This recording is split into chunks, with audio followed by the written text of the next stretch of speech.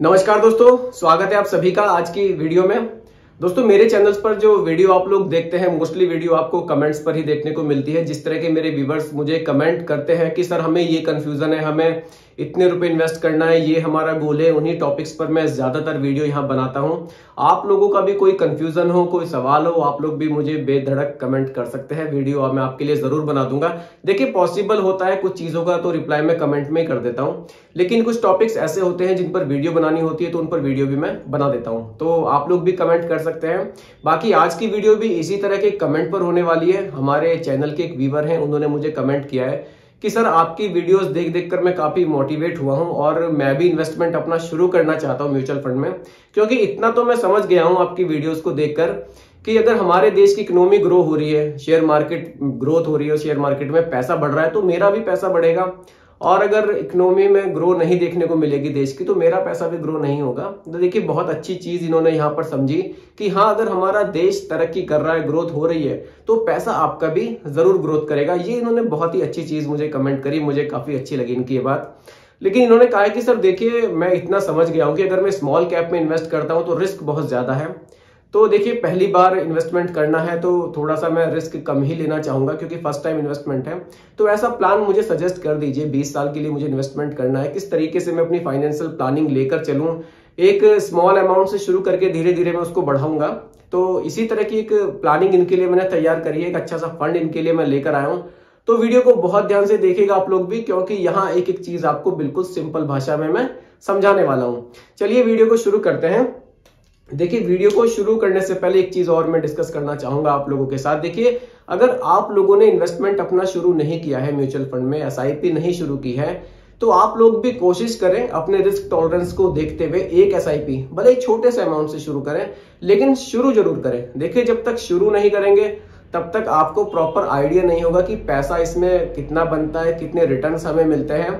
तो कोशिश करें, भले ही छोटे अमाउंट से शुरुआत करें, लेकिन एक एस शुरू करें। देखिए, भले ही छोटे से अमाउंट से आप शुरू करेंगे आज एस को, लेकिन फ्यूचर में ये छोटा सा अमाउंट ना आपको बहुत बड़ा अमाउंट बनाकर दे सकता है। क्योंकि यहाँ जो पैसा बनता है ना, वो कंपाउंडिंग पावर के साथ बनता है। तो पैसे में ग्रोथ आपको बहुत ज़्यादा देखने को मिलती है।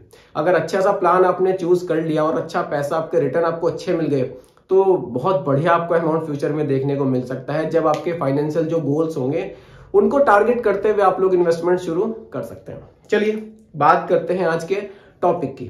देखिए, तीन हज़ार रुपए महीने का इनका इन्वेस्टमेंट है। उसके हिसाब से जो फंड इनको मैं सजेस्ट कर रहा हूँ, देखिए लार्ज कैप कैटेगरी का फंड इनको मैं सजेस्ट कर रहा हूँ, क्योंकि ये बहुत ज़्यादा रिस्क में नहीं जाना चाहते। फ़र्स्ट टाइम इन्वेस्टर हैं लार्ज कैप कैटेगरी के फंड में इन्वेस्ट कर सकते हैं, काफ़ी अच्छा रहेगा इनके लिए। फंड का नाम है निपॉन फंड का नाम है Nippon India Nippon India large cap. अब ये फंड किन लोगों के लिए ज़्यादा अच्छा है? देखिए फ़र्स्ट टाइम इन्वेस्टर हैं, कम रिस्क में जाना चाहते हैं, अच्छी कंपनियों के स्टॉक्स में इन्वेस्ट करना चाहते हैं। लार्ज कैप कैटेगरी काफ़ी बढ़िया रहती है उन लोगों के लिए। लेकिन जो लोग इसका फंडा समझ गए हैं म्यूचुअल फंड का थोड़ा सा रिस्क लेने की क्षमता उनकी अच्छी है, वो लोग मिड कैप और स्मॉल कैप में इन्वेस्ट करते हैं। लेकिन निपॉन इंडिया लार्ज कैप के भी अच्छे रिटर्न है। आप फ़र्स्ट टाइम इन्वेस्टर है, इसमें इन्वेस्ट कर सकते हैं रिटर्न यहाँ भी आपको बहुत बढ़िया देखने को मिलेंगे। तो Nippon India large cap fund के बारे में पहले समझ लेते हैं कि कैसा ये फंड है, इसका हम लोग फंड साइज़ देखेंगे, कैसा हमें देखने को मिलता है। फंड साइज़ से हमें पता चल जाएगा कि कितना पैसा लोगों ने इस फंड में इन्वेस्ट किया हुआ है। साथ ही साथ इसका एक्सपेंस रेशियो देखेंगे, क्या खर्चे हैं इस फंड के, जो ये हमसे लेता है। साथ ही साथ इसकी होल्डिंग्स देखेंगे। देखिए, होल्डिंग्स को देखना बहुत ज़रूरी होता है। होल्डिंग से हमें आइडिया होता है कि हमारा पैसा आखिर इन्वेस्ट कहाँ हो रहा है। देखिए, हम अपना पैसा इन्वेस्ट कर रहे हैं, अपना पैसा हम लोग फंड मैनेजर के हाथ में जो हम अपना पैसा दे रहे हैं, वो उन पैसे को कहाँ किन स्टॉक्स में इन्वेस्ट कर रहा है। तो ये हमें होल्डिंग से पता चलता है। देखिए, सब कुछ पिक्चर आपके सामने क्लियर होनी चाहिए। तभी आप इन्वेस्ट करेंगे, तभी आप प्रॉफिट यहाँ से बना पाएँगे। चलिए, इसको फंड को थोड़ा सा हम लोग अब समझ लेते हैं। फंड साइज़ कैसा मिलता है एक्सपेंस रेशियो कैसा मिलता है, उन सबको देखने के बाद एक अच्छा हमें आइडिया फंड के बारे में हो जाएगा। देखिए फंड साइज़ की अगर मैं बात करूँ, काफ़ी बढ़िया देखने को मिलता है। Fifteen thousand eight hundred fifty five crore, पंद्रह हज़ार आठ सौ पचपन करोड़ रुपए का फंड साइज़ देखने को मिलता है। एक्सपेंस रेशियो की मैं बात करूँ 0.9 परसेंट का एक्सपेंस रेशियो देखने को मिलता है। देखिए लार्ज कैप कैटेगरी का फंड है, या एक्सपेंस रेशियो हमेशा आपको थोड़ा सा ज़्यादा ही देखने को मिलता है। बात करते हैं होल्डिंग्स की। होल्डिंग्स कहाँ हमारा पैसा इन्वेस्ट हो रहा है? देखिए मार्केट कैप के हिसाब से अगर मैं बात करूँ, सबसे ज़्यादा पैसा आपका लार्ज कैप कैटेगरी की कंपनियों में इन्वेस्ट किया जाएगा और उससे कम मिड कैप में और फिर स्मॉल कैप में। अब इसकी परसेंटेज भी देख लेते हैं कितना कितना पैसा इन्होंने इन्वेस्ट किया हुआ है। देखिए लार्ज कैप में इन्वेस्ट किया है 80.38 परसेंट और मिड कैप में किया है 12.88 परसेंट और स्मॉल कैप में किया है? 6.25 परसेंट देखिए पोर्टफोलियो बहुत अच्छी तरीके से बनाया गया है। लार्ज कैप में इंडिया की टॉप 100 कंपनी आती हैं। जो पैसा आप इन्वेस्ट करेंगे टॉप 100 कंपनियों में आपका 80 परसेंट पैसा तो टॉप 100 कंपनियों में इन्वेस्ट होगा। 101 रैंक से लेकर 250 रैंक तक की कंपनियों में 12.88 परसेंट इन्वेस्ट होगा। और जो 250 रैंक से ऊपर की कंपनियाँ हैं 500 रैंक तक की, वहाँ आपका 6.25 परसेंट पैसा इन्वेस्ट होगा। तो इस तरह से पोर्टफोलियो आपका बनाया गया है। देखिए लार्ज कैप में टॉप 100 कंपनी है तो रिस्क यहाँ कम रहता है। लेकिन रिटर्न्स को भी मेंटेन करके चलना है तो फंड मैनेजर ने बहुत अच्छी तरीके से पोर्टफोलियो बनाया है, ताकि आपको रिटर्न्स भी यहाँ अच्छे मिले। चलिए दोस्तों, अगर कंपनी वाइज थोड़ी बहुत होल्डिंग्स आप देखना चाहते हैं, ताकि आपको बेटर आइडिया हो जाए कि पैसा किन कंपनियों में इन्वेस्ट है, वो देख लेते हैं। एच बैंक में आईसीआईसी बैंक में रिलायंस इंडस्ट्रीज़ में, एसबीआई में एलएनटी में, ITC Axis Bank Infosys Hindustan Lever HCL Technologies अब आप समझ सकते हैं कितनी बड़ी बड़ी कंपनियों में आपका पैसा इन्वेस्ट किया जा रहा है। कुछ लोग कहते हैं कि, सर, क्या ये पैसा ज़ीरो हो सकता है? जी हाँ बिल्कुल हो सकता है। जिन कंपनियों का मैंने नाम लिया है, जो इसके होल्डिंग्स हैं H D F C ICICI bank, Reliance Industries, State Bank of India, अगर ये लोग, ये कंपनियाँ दिवालिया हो जाती हैं, ज़ीरो हो जाती हैं तो आपका पैसा भी ज़ीरो हो जाएगा। ये कंपनियाँ चलती रहेंगी तो आपका पैसा भी ग्रो होता रहेगा।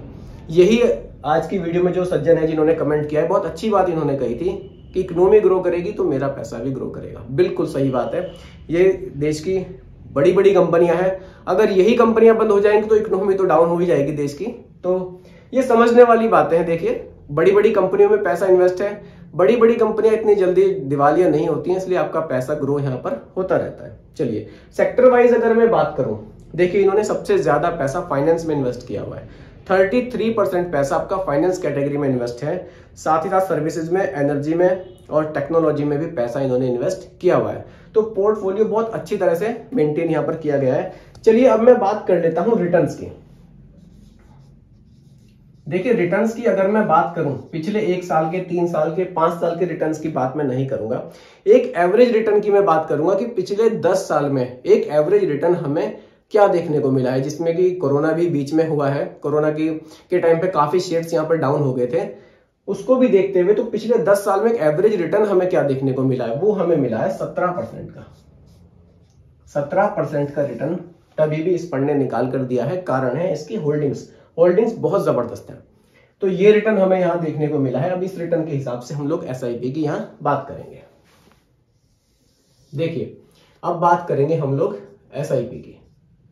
देखिए मंथली जो इनका इन्वेस्टमेंट इन्होंने मुझे बताया है वो बताया है तीन हज़ार रुपए, लेकिन इन्होंने कहा था कि ये धीरे धीरे इस पैसे को बढ़ा लेंगे। इसका मतलब है कि इनको स्टेप अप एसआईपी कर लेनी चाहिए।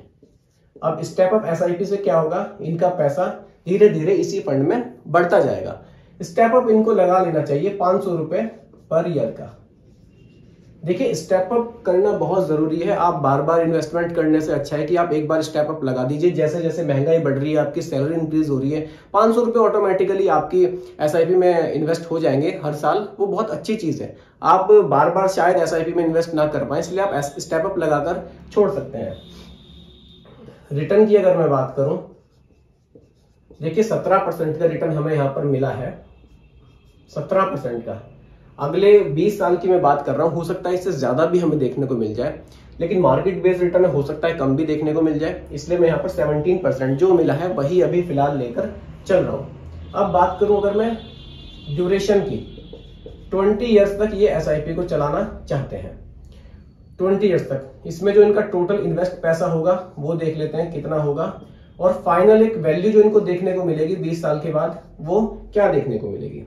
अब उस चीज़ को समझ लेते हैं, अपना एसआईपी कैलकुलेटर हम लोग चलाते हैं और देख लेते हैं कि क्या बेनिफिट हमें यहाँ देखने को मिलते हैं। देखिए दोस्तों टोटल जो इनका इन्वेस्ट होगा ना, वो होगा अट्ठारह लाख साठ हज़ार रुपए। देखिए धीरे धीरे कितना बड़ा अमाउंट हम लोग एसआईपी में इन्वेस्ट कर देते हैं मंथली तीन हज़ार तीन हज़ार जा रहा है, कितना बड़ा अमाउंट हमारा यहाँ इन्वेस्ट हो जाता है।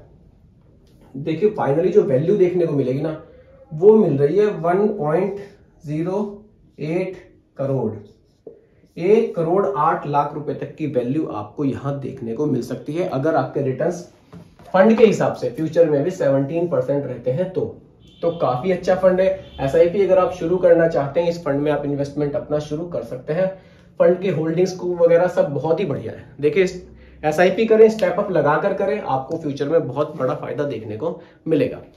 बाकी दोस्तों, ये कोई रिकमेंडेशन वीडियो नहीं है। जब भी इन्वेस्ट करें, सोच समझ कर करें, अपने रिस्क टॉलरेंस को देखते हुए करें और फंड के बारे में रिसर्च करने के बाद ही करें।